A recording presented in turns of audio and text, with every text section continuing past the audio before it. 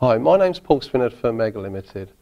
I'm here today to talk to you about the MIT range of 5 and 10 kV insulation testers. There are three products in the range, MIT 515, which is the entry-level product, the MIT 525, which has full diagnostic capabilities, and the MIT 1025, which has full diagnostic capabilities and has 10 kV output. The instrument I have here today is the MIT 525. This is a 5 kV output instrument and it has full diagnostic capability. The instrument has a quick, easy to remove lid and in the, in the lid itself there's a quick start guide to get you started.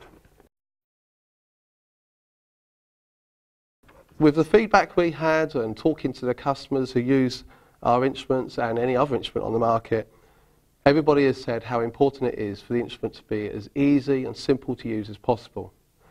As you can see from the front panel, there are two rotary switches, one to select the mode and one to select the test voltage and other functionalities such as data storage and download and the settings. There's also the addition of a separate voltage measurement range. This means the instrument is extremely easy to use and you can see by the front panel everything it does is, is displayed on the front. There is no hidden function keys, there are no mode keys. It does exactly what it says.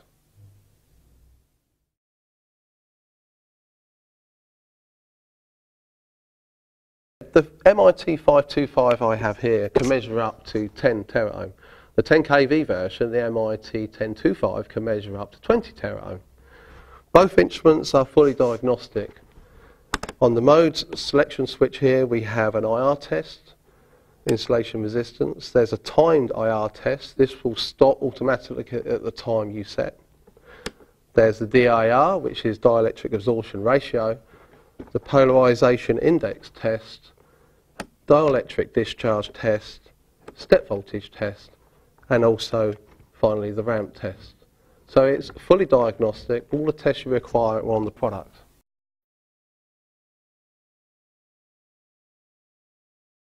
It's small, lightweight, making it easy to carry, easy to store. It's also fitted with lithium ion battery technology, which means it can be charged in two hours flat. It's tough. It's got dual case construction. The inner case gives you the fire retardancy and protection, but the outer case gives you the toughness the ability to take the knocks and the impacts of everyday life.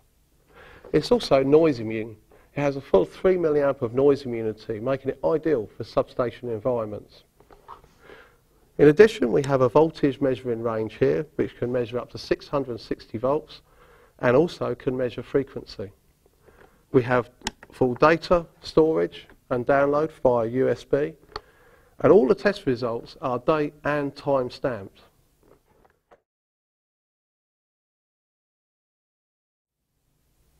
I'd now like to take you through a full product demonstration.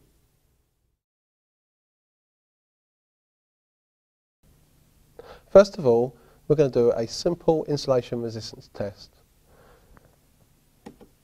Move the uh, mode switch to the IR position, then select the voltage I require, in this case 5000 volts, and then press and hold down the test button until the test starts. That's to prevent accidental operation.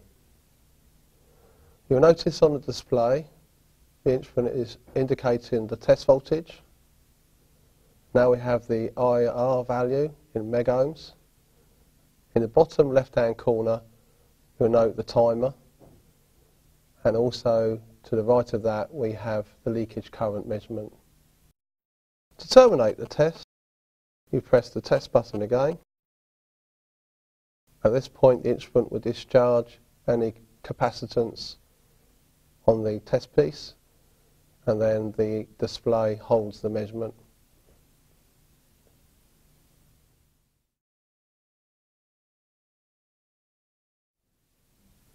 Now I'll show you a timed IR test. First of all, we set the IRT on the mode switch. Then, as before, we select our test voltage and then hold down the test button until the test commences. Once the test commences, the indicator light flashes to warn of high voltage. The timer operates as before, only this time when the test reaches the set time, the test is terminated. The time can be user set.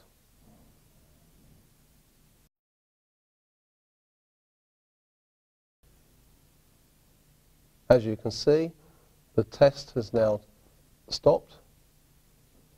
And at this point, if there was any capacitance, the instrument would discharge it. Any voltage would appear on the screen.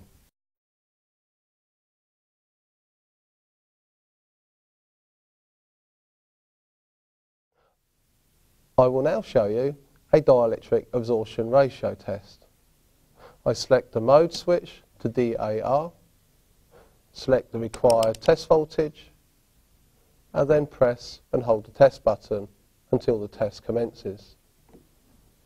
The instrument will take a reading at 30 seconds and 1 minute and then show the final DAR value. The two test times are both user settable.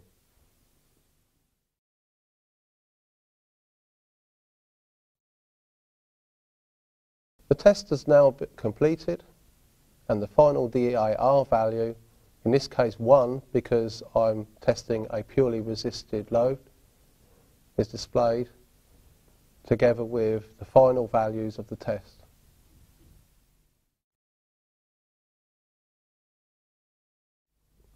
I'll now show you a polarization index test. Firstly, we set the mode switch to PI the range switch to the required test voltage, then press and hold down the test button until the test commences. The instrument will take a reading at 1 minute and at 10 minute and then show you the ratio.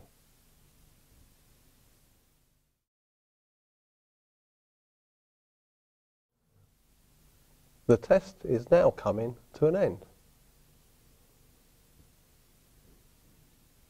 And now the final polarization index value is displayed.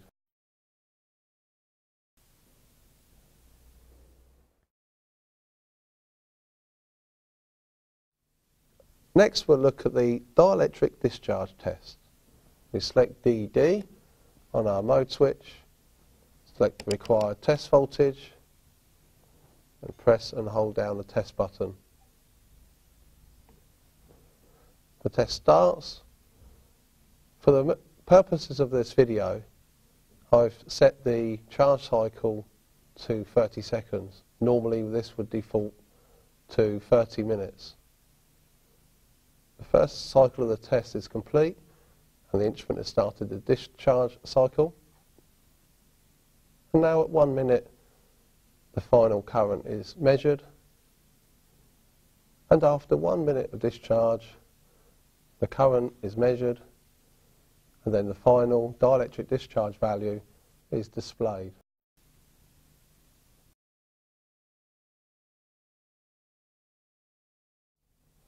Next, I'll show you a step voltage test. We select SV on the mode switch. We select our required test voltage, and then press and hold down the test button until the test commences. The instrument will increase the test voltage in five equal steps. In this case, because I've selected 5 kV, the instrument will increment in 1 kV steps. The default time for this test is 5 minutes, so each step is 1 minute long. And here we see the first value logged on the display and the test voltage now increases to 2000 volts.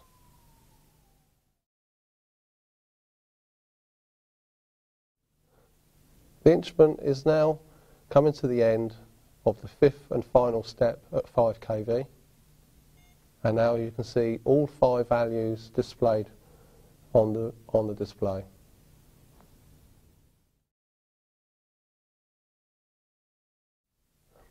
And finally, I'll show you the ramp test. Firstly, we select the ramp symbol on the mode switch. we select the test voltage, then we press and hold down the test button until the test commences.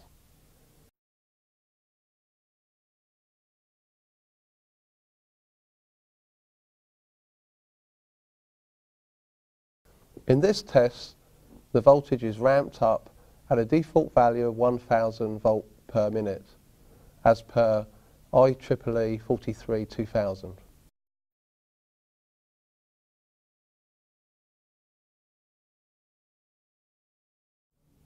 Okay, the test is nearing completion. The voltage has nearly reached 5000 volts.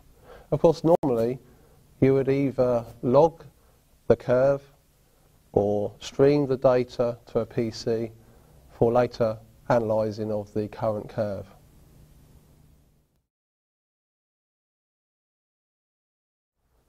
Right, now having just looked at all the different diagnostic tests, I'd like to show you some of the other features the product has. Firstly, we'll have a look at the variable voltage range. In this range, you, the user can set the voltage from 50 volt to 5 kV if it's a 525 or 10,000 volts if it's a 1025. We have a number of preset voltages, 5 kV, 2.5 kV, 1 kV, 500 volts and 250 volts. In addition, we have a separate voltage measurement range which can measure from 30 volts to 660 volts and will also measure frequency to, from 45 to 65 hertz. The spanner symbol, which is the settings range, allows the user to set a number of parameters. The IR range selected gives you firstly the user preset voltage, which I can adjust and then accept. There is also a IR test limit alarm, which at the moment is set to 1000 k ohms. And there is also the facility to enable a temperature uh, field in the data storage.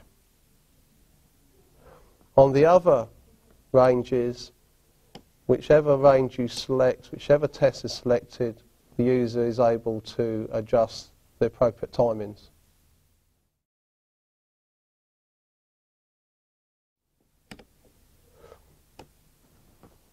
Here we have the data storage functions. In this position with the folder symbol, the user can review the stored test results on screen. We have a USB position for downloading the test results to a PC. And finally, we have the little bin symbol which allows the user to either delete an individual test result or clear the memory of all test results. Thank you for watching this video. If you require more information, please contact us on sales 01304 502 101 and lifetime tech support on 01304 502 102. Alternatively, you can find information on our website www.megger.com or you can follow us on Facebook, Twitter and YouTube.